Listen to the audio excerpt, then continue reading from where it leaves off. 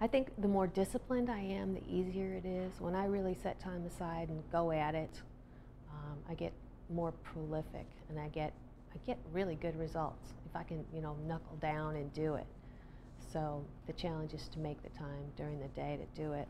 But really, it happens all ways. Sometimes I'll get a melody, and it's not even a conscious thing. It just kind of, you know, you hear about the American Indians saying they had dream catchers.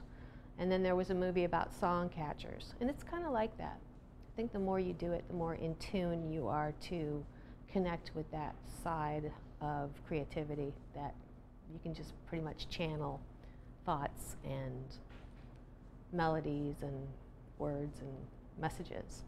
It's pretty cool.